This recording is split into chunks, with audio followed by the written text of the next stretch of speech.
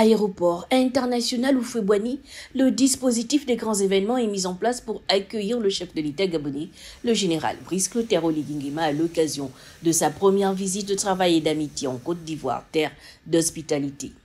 Accompagné de la première dame Zita Oligingema, le président de la République a été reçu par le vice-président de la République de Côte d'Ivoire, Tiemeko Mélier Kone. De son homologue Alassane Ouattara, le président de la transition et son épouse ont eu droit à la manifestation de la légendaire expression Aquaba. Bienvenue. L'arrivée du président gabonais en Côte d'Ivoire a suscité de l'engouement chez ses compatriotes vivant dans ce pays.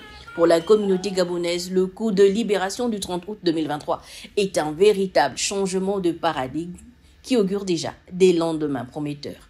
La joie est immense en fait. C'est une aubaine pour nous, déjà de le rencontrer pour une première fois déjà. Voilà.